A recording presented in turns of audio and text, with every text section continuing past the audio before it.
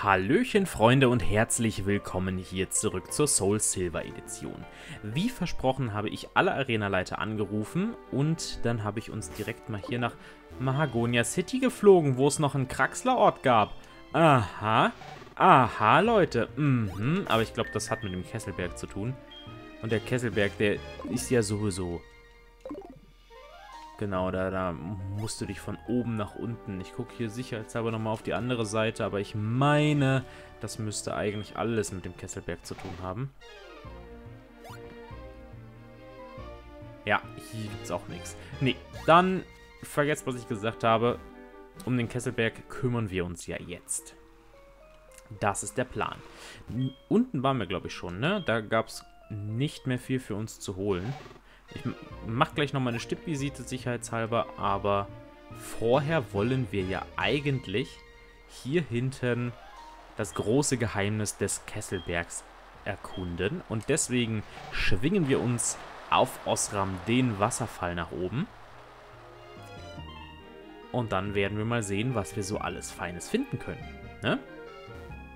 Ich meine, die gewieften Pokémon-Spieler oder die, die bei mir Goldene Edition gesehen haben, die wissen schon, was es hier gibt. Damals haben wir hier unser letztes Teammitglied bekommen. Aber heute wird das Ganze ja ein bisschen anders laufen. Wer bist du denn? Ach, bist du Randalf? Yo, Urban! Ich bin nicht Urban, aber du bist 100 pro Randalf, oder? Ja, Randalf, ich kenne dich doch. Ich kenne doch meine Pappenheimer. Ähm, ja, ich habe deswegen auch extra das Pikachu aus unserem Team rausgeschmissen. Deshalb auch unbedingt den Topschutz, damit ich ja nicht verleitet werde, hier irgendwas aus Versehen zu fangen. Und dann geht das hier quasi ganz von alleine. Ach du Schreck, du bist ja ganz jemand anderes. Ja, ja, bin ich. Ich bin nicht urban. So, der Schutz wirkt nicht mehr. Dann schmeiße ich direkt mal 9 an. Wir haben jetzt wieder 78 Stück sind es noch. Also das sollte sicherlich ein Weilchen reichen. Und ich habe keine Ahnung, wie ich hier am besten mich betun soll. Um alles mitzunehmen. Aber auch um möglichst gut voranzukommen. Also das hier sieht schon mal gut aus, der Top-Trank. Der Top-Trank sieht schon mal sehr gut aus. Die Frage, die sich mir jetzt stellt, ist, sollte ich hier lang? Sollte ich erstmal nach links bei, bei, äh, bei Randalf lang gucken? Ich glaube, ich gehe erstmal nach links. Ich benutze hier oben auch extra wieder kein Item-Radar. Das ist mir ein bisschen zu doof mir hier jetzt alles anzugucken. Aber ich glaube, das hier ist auch nur ein Rückweg, ne? Das hier ist, glaube ich, nur ein Rückweg. Nee, guck mal, doch nicht nur ein Rückweg. Gut, dass ich geguckt habe. War sogar ein Sonderbonbon. Hallöchen, mein Freund. Ja, dich nehme ich sehr gerne mit. Da mal kein Vertun. So, nun aber wieder zurück. Mach's gut, Ranalf. Immer diese Zauberer hier gegen Ballrocks kämpfen. So, dann einmal hier nach oben. Oh. So soll es sein. So muss es geschehen. Und noch weiter. Ach, ich hasse den Kesselberg. Surfen, nicht surfen, surfen, nicht surfen. Der Kesselberg ist einfach nur nervtötend. Ich glaube, der Kesselberg ist wirklich mein unliebster Berg so in den gesamten Pokémon-Editionen. Man muss ihn zwar nicht machen, er ist ja komplett äh, optional, was ihn dann schon wieder gar nicht so kacke macht. Aber ich weiß nicht, der Kesselberg ist einfach, ist einfach nicht mein Fall. Er, er geht mir dafür zu sehr auf den Sack, als dass ich ihn mögen könnte. So, dann einmal hier nach unten, damit wir den Aeroas bekommen. Okay. Ich hätte gedacht, das wäre schon die Drachenschuppe, aber Nee, Drachenhaut, nicht Drachenschuppe.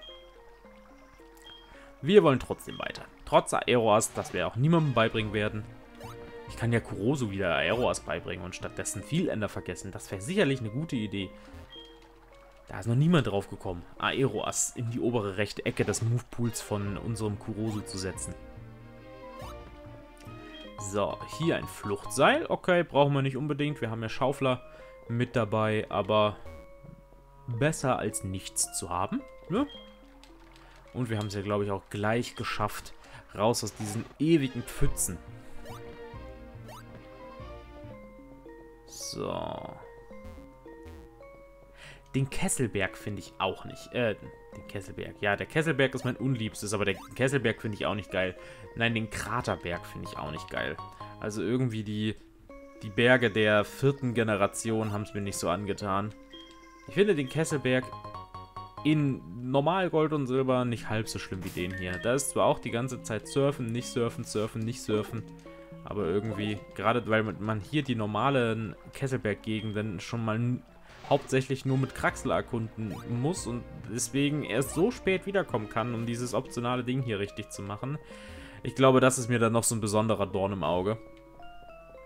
So, hier geht's nicht weiter. Ich schwinge mich mal aufs Rad. Das bringt uns alles nichts. Ich wette, hier liegen einige versteckte Items drauf, aber wie gesagt, die sind mir erstmal wurscht. So, hier geht's nicht weiter. Dann müssen wir hier unten einmal entlang. Ne, da gibt's auch nichts. Wo ist denn unser... Ne, da geht's nur runter. Das will ich noch nicht. Eine Eisenkugel. Mhm. Ein Schutz, der nicht mehr wirkt. Auch schön. Ja, also das wäre jetzt, glaube ich, Selbstmord, wenn ich da runtergefahren wäre. Dann müsste ich nämlich wahrscheinlich den ganzen Weg nochmal zurücklegen. Im Gegensatz dazu, hier jetzt einfach mal ganz kurz runter zu gehen. So, damit ich die letzten paar Gegenden auch noch abklappern kann. Ein Top-Beleber haben wir. Und hier haben wir einen verschwundenen Schwarzgurt. Da haben wir nichts, okay. Gut, ist in Ordnung. Alter, ich bin der Karatemeister. Ich trainiere hier ganz allein in dieser düsteren Höhle. So bin ich eben. In Ordnung, hergehört. Ich will, dass du gegen mich kämpfst. Hark. Ja, dann kämpfen wir halt gegen dich. Ist mir recht live. Ist mir sehr recht. Du kannst dich sowieso nicht gegen uns behaupten mit deinen zwei Pokémon hier. Und äh, daran sieht man einfach, dass wir schon wesentlich früher her hierher kommen hätten können. Ähm, ja, Kikli Level 34, Nocturne Level 34. Hm. Das letzte Mal haben wir es ja auch vor der Pokéliga gemacht, damit wir da das letzte Pokémon noch mitnehmen können, damit das Team vollständig ist. Und ich muss sagen, es hat uns ja wirklich an vielen, äh, naja, vielen nicht, aber in manchen Situationen wirklich gut geholfen damals. Aber sei es drum. Ja, ich wurde besiegt. Hier wird es leider auf der Box rumgammeln. Das ist doch nicht möglich. Wie lange soll ich denn noch trainieren? Ich sage es nur ungern, aber ich habe verloren. Ich gebe mich geschlagen. Er gehört. Als Beweis für deinen Sieg will ich dir dieses kostbare Kampf-Pokémon überreichen. Das Rabauz. Genau, damals Spitzname Josef. Ach, das waren schöne Zeiten. Rabauz ist ein Pokémon von Typ Kampf. Zieht man es auf, entwickelt er sich angeblich zu einem mächtigen Pokémon. Also hergehört. Streng dich an. Ich sitze jetzt auch mit Training fort. Hau rein. Ja, ich hau rein. Mach's gut, Karatemeister. So. Und hier standen wir schon einmal davor der Fels, den man nur in die eine Richtung schieben kann, weil in der anderen Richtung alles blockiert wird. So. Nun haben wir diesen Part des Kesselberges erfolgreich erkundet. Wir haben das Rabauz dabei. Das würde ich mir aber trotzdem gerne einmal angucken. Wie sieht es denn so aus? Mäßig. Okay, schlechter Angriff. Das wird wohl oder übel ein Nocturne werden, wenn man das nicht anpasst mit ein bisschen Protein und so einem Kram. So. Und jetzt sind wir wieder im normalen Gefilde des Kraterbergs. Und wir können mal gucken, was es hier so allerlei feine Sachen gibt. Ne? Hier nach oben. Lass mich in Ruhe. Ich habe Kraterberg gesagt, ne? Nicht Kesselberg, ist mir egal. Wir sind jedenfalls in diesem nervigen Berg. Hier geht es jetzt wieder nach unten. Ist das nur eine Abkürzung oder folge ich hier tatsächlich den Spuren irgendeines seltenen Items? Ein Schützer. Na, na, okay. Ja, gut. Und ein Sonderbonbon. Schick. Also, das hat sich schon gelohnt, würde ich meinen. Das hat sich schon gelohnt. So, okay. Selbstverständlich muss ich mich trotzdem hier noch ein Weilchen weiter umgucken. Da haben wir nichts mehr. Da haben wir, glaube ich, auch nur Urban. Ja, hi Urban. Da kommen wir auch nur zurück. Das war doch noch nicht alles. Ja, wusste ich doch. Hier geht's noch weiter. Den oberen Kraxel haben wir ja gerade eben schon genutzt. Dann holen wir uns einen Lahmrauch. Okay, der nächste Rauch. Von mir aus, da haben wir nichts drin. Das wäre auch ein bisschen zu offensichtlich, ein Item neben einem Item zu verstecken. Ein Nugget. Okay. Why not?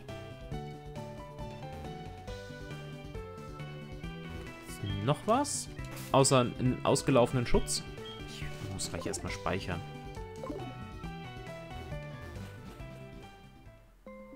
So, Kesselberg. Da geht's nach unten und nach draußen. Ah, guck mal, wir sind jetzt hier oben. Also kommen wir jetzt hier wieder richtig raus. Und kommen hier zu dem versteckten Item. Okay. Dann haben wir das auch gesehen. Eine Dubios-Disk. Okay. Porygon Z. Also ihr seht, Kraxel ist unerlässlich, wenn man den Pokédex hier vollkriegen möchte. Einerseits kriegt man hier die ganzen Entwicklungs-Items. Andererseits kriegt man sehr viele von den Rauchsachen. Warum gehe ich ins, äh, Inventar? Ich wollte eigentlich... Ich wollte eigentlich speichern. Ähm, ja, andererseits findet man die ganzen Rauchs, die man für die Baby-Pokémon braucht, damit man sich die züchten kann. Also es führt kein Weg dran vorbei, wenn man den wenn man den Beutel vollkriegt, dass man irgendwie hinkriegt, äh, wenn man den Pokédex vollkriegen will, dass man es irgendwie hinkriegt, sich an diese ganzen Kraxler-Sachen hier zu erinnern. So, da geht es ganz normal raus. Das wissen wir ja schon, dass das hier der einfach nur der rechte Eingang ist. Was anderes gibt es hier auch, glaube ich, nicht mehr, ne? Da haben wir uns gerade durchgebuddelt. Hier oben können wir nochmal schauen. Auf der oberen Etage, aber ich glaube, es gibt hier nichts. Ne, also hier gibt es jedenfalls nichts. Schutz wirkt nicht mehr. Ja, dann schmeißen wir direkt noch einen an. So sollte es sein. Gucken wir nochmal auf der anderen Seite. Da waren wir ja gerade eben. Hier können wir nochmal nach oben fahren. Aber hier gibt es auch nichts, ne? Ne, hier gibt es auch nichts. Gut, dann gehe ich jetzt nochmal ganz kurz in die Mitte des Kesselbergs, wenn ich hier noch... Ja, nochmal nach links geguckt habe. So. Hier drüben gibt es auch nichts, wo wir noch hochkraxeln können, ne? Ne, alles supi. Genau, dann gucke ich jetzt nochmal in die Mitte und gehe nochmal nach unten, um zu schauen, ob es da noch irgendwas gibt. Da, da wären wir ja hingekommen, wenn wir den Stein weggeschoben hätten. Da kommt man ja im Endeffekt lang. So. Dann einmal hier nach unten. Oh, stimmt. Einen Kampf haben wir noch, den ich, den ich bisher vergessen habe zu erwähnen. Der gehört noch mit dazu. Ich habe es, glaube ich, einmal schon gesagt, aber spielt nicht wirklich so eine große Rolle. Aber ich darf den nicht vergessen, dass wir den noch nicht gemacht haben. Und der findet ja auch nur an bestimmten Tagen statt. Und ich weiß nicht an welchen Tagen. So, da oben war der Stein, falls ihr ihn gerade vorbei huschen sehen habt gucke hier unten sicherheitshalber nochmal nach, aber hier hinten war, glaube ich, auch nur ein Item, ne? Ja, dann werde ich mich gleich rausbuddeln. Und... Ah, hier war nur ein Item. Alles klar. Dann, Cole, bitte einmal Schaufler. Vielen Dank. Und der Kesselberg ist damit auch geklärt, auch wenn sich das Spiel gerade aufgegangen hat. Ist jetzt halb so schlimm, ich werde den letzten Rest einmal selbst noch tun. Es war ja, theoretisch kann ich es eigentlich sein lassen, wenn ich die, die, die wenn ich die Dubios-Disc habe, kann ich ja hier wegfliegen. Wir haben ja danach nichts mehr eingesammelt. Ähm, ja, ich werde jetzt einmal gucken, an welchem Tag dieser eine Bonuskampf noch stattfindet, damit ich den nicht vergesse. Und ja, dann werden wir uns da gleich wiedersehen. So, da bin ich auch schon wieder. Wir haben jetzt plötzlich Mittwoch, keine Ahnung, wie das passiert ist, und befinden uns hier in der Pokerliga. Denn wenn man an Montagen und Mittwoch äh, und Mittwochen versucht zur Pokeliga zu gehen, kommt jemand Bestimmtes. Moment noch, hast du vor, es jetzt gleich mit der Pokeliga aufzunehmen? Ich will ja nicht sagen, aber damit lasse ich dich nicht durchkommen. Denn meine Pokémon sind inzwischen so stark geworden, dass, kaum, dass du sie kaum wiedererkennen wirst. Dieses Mal werden sie dich ganz sicher besiegen. Und zwar jetzt. Auf der Stelle. Los, lass uns kämpfen. Kein Problem, Detlef. Das machen wir sehr gerne. Genau, das ist der kleine Bonuskampf. Wir haben ihn ja vom Scheiße, es geht mit Sneebel los? Das habe ich beim letzten Mal mir schon gedacht, ne? Dieses, dieser Fuck-Moment. Ähm, wir switchen einfach mal auf Kurosu. Smeraldo ist da, glaube ich, die schlechteste Variante, die wir hätten treffen können. Kurosu ist da doch schon ein bisschen besser. Mit seiner vierfachen Stärke gegen Sneebel. Einmal bitte Durchbruch. Selbstverständlich ist Sneebel ein bisschen schneller. Aber mit, weder mit den Unlicht noch mit den Volltreffer-Geistattacken sollte das hier gut vorankommen. Mach's gut, Sneebel. Den Vierfachtreffer wirst du auf keinen Fall überstehen. Ich find's ein bisschen komisch, dass das kein Snibunna ist. Dass Sneebel hier das einzige Pokémon ist, was er nicht entwickelt hat. Ja gut, aber auf der anderen Seite, jetzt kommt das X-Bad, mit dem ich eigentlich an der ersten Stelle gerechnet habe. Verdammt. Los, Meraldo, jetzt bist du dran. So, äh, ja, aber vielleicht liegt es nur daran, dass das Nibuna ja an sich ein, ein Viert-Gen-Pokémon ist und sich gedacht wurde, Mensch, bleiben wir doch einfach bei, bei Dritt-, äh, bei, bei Zweit-Gen-Pokémon. Was die Entwicklungen angeht, ist vielleicht ein bisschen realistischer. Du hast überlebt? Was bist denn du für einer? Ja, jetzt kommt die Top-Genesung. Das ist ein Toxin gewesen, ne? Also eine schwere Vergiftung. Ich habe gerade nicht so richtig aufgepasst. Weil ich dachte, okay, die Psychokinese macht das eh. Ja, aber Pustekuchen. Die Psychokinese macht das eben nicht. Aber die Psychokinese macht das. Keine Ahnung, warum die jetzt stärker war. Die Spezialverteidigung wurde eigentlich nicht gesenkt.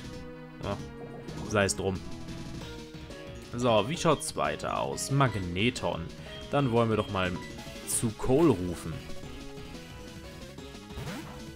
Ne, mein kleiner Freund? Du bist nämlich dran. So, und Flammenwurf. Machen wir ganz kurz und knapp und entspannt. Ne, Magneton? Sag ich doch. Musst einfach mal auf mich hören. So, wie geht's weiter? Impergator. Natürlich, wer sollte gegen Impergator denn kommen, wenn nicht Osramo? Unser kleiner Krieger. Hallöchen, Impergator. Äh, schon mal von Ladungsstoß gehört? Ich glaube schon. Ja. Wird zwar sicherlich wieder nicht alles abziehen. Aber, ja, die Hälfte, die reicht mir. Und Paralyse, das ist auch gut. Ich glaube, das ist nicht ganz die Hälfte. Ich mache eine Kaskade zur Überbrückung, damit der zweite Ladungsstoß auf jeden Fall das Vieh umklatscht und... Ah, es setzt trotzdem was ein. Ich habe gehofft, dass entweder Kaskade es zurückschrecken lässt oder dass, äh, dass die Paralyse greift. Deswegen ist es Kaskade geworden. Ja, und ich, ich befürchte, wenn Ladungsstoß es nicht geschafft hätte, dass dann die zweite Top-Genesung geflogen wäre. Deswegen lieber eine kleine Extra-Runde. Ist ja auch nicht weiter schlimm gelaufen. Ne? Da kommt ein Simsala. Und gegen Simsala setzen wir selbstverständlich am besten Bonsai ein. Bonsai! Denn Bonsai hat sich bewährt gegen Simsalas. Äh, ich hoffe einfach mal... Yes! Dass das Simsala angreifen will. Wunderbar, weg damit. Oh, Tiefschlag ist eine super Attacke. Da ist nicht mal Step drauf. Ich bin echt stolz auf dich, Bonsai, dass du das so gut schaffst. Äh, ja, wir bleiben bei Bonsai. Aber ich befürchte, da kommt gleich eine Hypnose reingepfeffert. Ist? Sein Pokémon habe ich noch. Nein, es wollte angreifen. Schick. Aber Gengar hat ein bisschen mehr Verteidigung. Ja. Ja, Gengar hat ein bisschen mehr Verteidigung. Das schafft's leider nicht mit dem einen Tiefschlag. Wenn Step wäre vielleicht, aber nicht mit Bonsai. Du denkst doch nicht etwa, du hättest schon gewonnen, oder? Äh, eigentlich denke ich das schon. Vor allem, weil ich jetzt gewonnen habe. Tut mir leid für dich. Ciao, Detlef. Upsi. Ich habe mich geschlagen. Ja, ist vielleicht besser so. Ah, Ich dachte, ich konnte dich also immer noch nicht besiegen. Ich muss, ich muss wohl noch mehr Vertrauen für meine Pokémon aufbringen. Vielleicht ist das ja mein Problem. Aber wie dem auch sei, es tut mir leid, dass ich dich aufgehalten habe. Wenn du den Champ herausfordern möchtest, dann vergiss nicht, deinen Pokémon vorher fit zu machen. Das war der kleine Bonuskampf. Hallöchen, Schwester Joy. Ja, danke schön, dass du dich um meine Pokémon kümmerst. Ich werde währenddessen die Zeit einmal wieder auf normal stellen. Dass wir wieder den schönen Samstag haben, der heute eigentlich ist. Mutti ruft selbstverständlich wieder an. Wir kennen die Frau doch nicht anders. So, damit haben wir den Bonuskampf erledigt. Und das heißt, als nächstes geht es jetzt gegen die ganzen Arenaleiter nochmal. Die habe ich ja, wie schon am Anfang der Folge erwähnt, alle zu dem Ort gefeuert, die, wo ich sie haben wollte. Und zwar ist das in Safronia City.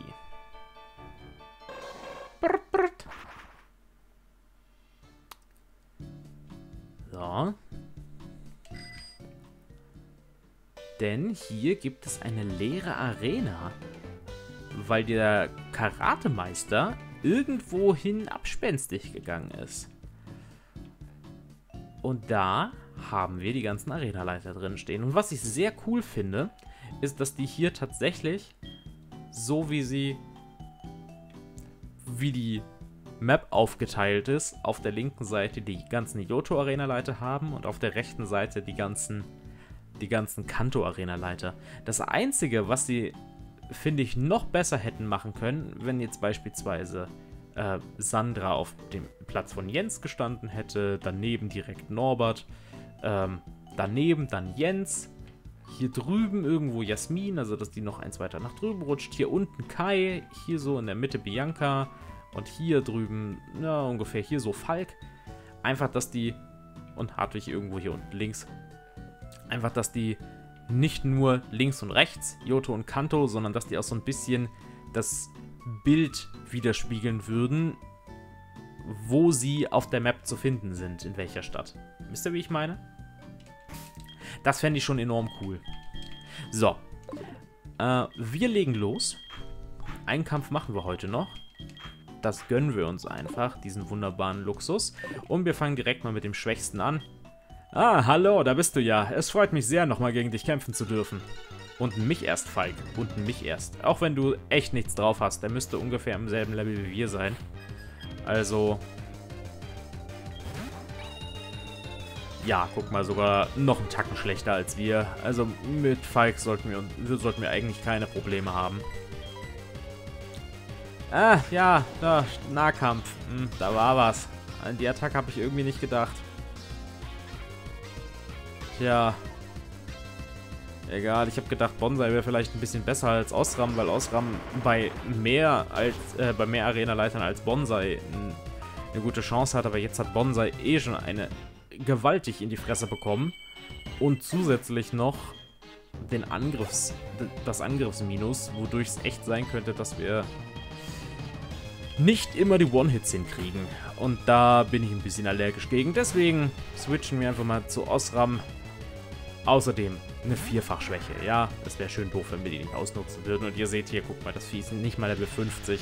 Also Falk ist hier auch im Rematch kein ernstzunehmender Gegner mehr.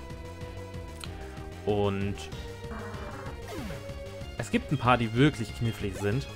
Vor allem Blau hat, soweit ich das im Kopf habe, sogar Pokémon bis Level 72. Daran werden wir uns richtig schön die Zähne ausbeißen, wenn es soweit ist. Aber ja, erst wenn es soweit ist. Ne? Wir kümmern uns wirklich Schritt für Schritt um jeden einzelnen nacheinander. Noctu hat das natürlich überlebt, weil er sehr viel Spezialverteidigung hat. Aber so eine Nicht-Step-Attacke wie Spukball ist dann doch nicht so effektiv, wie man es gern hätte, ha, Falk? Mach's gut, Noctu. Ist trotzdem ein gutes Training für unser ganzes Team. Und deswegen hier werde ich mich dann, wenn wir mit den Arenaleitern durch sind, fehlt ja für den Moment Ladevorgang auf Level 57. Ich glaube, es hackt. Ähm, fehlt ja dann auch vorerst nur noch die Liga und der finale Kampf. Und deswegen, bevor wir uns der Liga widmen, ihr habt schon gesehen, auf welchem Level die Liga sich ungefähr befinden wird, als wir gegen, gegen Siegfried in der Drachenhöhle gekämpft haben. Denn das ist auch das Level, was uns dann in der Liga erwarten wird. Und drei Pokémon geht noch, sechs Pokémon schwierig. Und deswegen ist es mir dann wirklich lieber, dass wir wenigstens unsere Pokémon erstmal so auf Level 65 bringen. Dass ich unsere Pokémon auf Level 65 bringe. Bevor wir hier dann irgendwie uns der Liga widmen. Bevor ich dann, ich glaube, nochmal 5 Level trainieren sollte. Ah, vielleicht funktioniert es mit Level 65, aber ich glaube, oder Level 68 vielleicht. Für die Liga ist es, reicht wahrscheinlich ein Tacken weniger. Aber jetzt wirst du mir den Windauftrieb... Äh, was? Ich hab's... Wahrscheinlich ein Ab jetzt. Ab jetzt wird mir der Windauftrieb verleihen oder so, aber wenn man nicht richtig lesen kann, ist das halt doof gelaufen. Also ich glaube, für die Liga reicht es ein bisschen schwächer, aber der finale Kampf ist halt... Der, der wird einiges, uns einiges an Nerven kosten. Das, das kann ich so sagen. Noch bin ich nicht abgestürzt. Ja, du wirst jetzt erstmal eine Top-Genesung einsetzen. Ich kenne dich doch. Und dann werde ich erstmal nicht treffen, weil du ein Doppelteam gemacht hast. Und dann muss ich gucken, wie ich hier irgendwas anstelle. Und eigentlich ist die Folge auch schon rum. Ja, ich sag doch. ich sag's doch. Ähm, Mann, oh Mann, oh Mann, oh Mann. Na, müssen wir, müssen wir schauen, wie wir das machen. Ach, ehrlich, es geht noch weiter. Ja, supi. Steiger den Angriff. Hurra. Ja, na klar, ey. Junge, du bist das letzte Pokémon von dem Typen. Und du bist eigentlich echt nicht besonders stark. Aber trotzdem haben wir keine Chance gegen dich. Ach, okay, ist auch noch ein Volltreffer, ja klar. Äh, benutzen wir Cole. Ich erwarte nämlich nicht mit Steinhagel treffen zu können. Ja, geht natürlich daneben. Es geht weiter mit Doppelteam. Ich bin wenigstens froh, dass das hier nicht so eine Slimeock-Aktion wird, wo sich das Vieh dann immer wieder heilt, wenn man mal nur einmal zwischendurch getroffen hat. Aber wenn man hier... Oder vielleicht... Ja doch, vielleicht kann es Ruheort. Doppelteam, Rückkehr. Ich weiß nicht, was es sonst noch so eingesetzt Angeberei, ja, genau. Vielleicht kann es wirklich Ruheort. Ich will das jetzt nicht beschreien. Das fände ich nämlich echt scheiße. Na, Cold sich eh selber. Scheiße, es kann wirklich Ruheort. Oh. Was soll der Scheiß denn jetzt?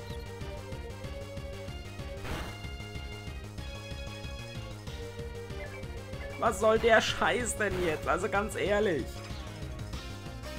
Was ein Abfuck. Ach, wenigstens treffen wir einmal, aber das bringt uns dann auch nicht viel. Wobei, doch, es ist schon im Roten. Das mit Großbrand, das könnte reichen. Oh Gott sei Dank. Volltreffer. Oh Gott sei Dank. Oh, oh Gott. Ich, oh, nerviges Viech. Na gut, dann werde ich eben heldenhaft zu Boden gleiten. Ja, gleite du. Es ist wohl noch ein weiter Weg bis an die Spitze des Trainerhimmels. Mach's gut, Falk. So, das war der erste von 16 Arena-Leitern. Den nächsten werden wir uns selbstverständlich in der nächsten Folge widmen. Mal gucken, ob die Kämpfe genauso scheiße werden wie jetzt der Kampf gegen das Taubos. Äh, ich glaube aber nicht. Freunde, vielen Dank fürs Zuschauen. Ich werde bis zur nächsten Folge in die po äh, ins Pokécenter gehen und dann schauen wir, dass wir die anderen hier auch noch alle umklatschen können. Bis zum nächsten Mal. Ciao!